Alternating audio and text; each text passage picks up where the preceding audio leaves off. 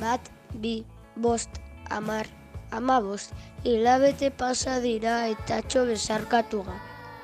Virus bat dagoelako munduan, hemen eta kartzelan. Baina hemen nire lagunek aitatxo eta amatxo besarkatzen dituzte, eta nik ezin dut. Kristala atzean bakarrik ikus dezaket.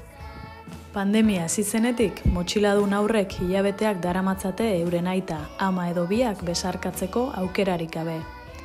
Bisabiz familiarrak eten egin bai dituzte. Batzuk, ama hilabete hauetan, aita edo ama hiru aldiz soilik ikusi ahal izan dute. Beste batzuk ordea, ama hilabete luze daramatzate euren gurasuen musurik jaso gabe. Honek, ondorio zuzenak dakartza aurrauen eta bere gurasoen arteko harremanean, umezurtz sentipena sorraraztearekin batera. Aurrentzako oso zaila da egoera hau ulertu eta sortzen dizkien barne sentipena kudeatzea. Egoera honek kalte nabarmenak sortu ditu. Horregatik, bisabisak berreskuratu eta aurrauen eskubideak lehen lerrora ekarri nahi ditugu.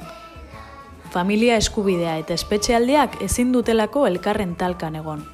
Beharrezko neurriak hartzeko eskatzen ari gara.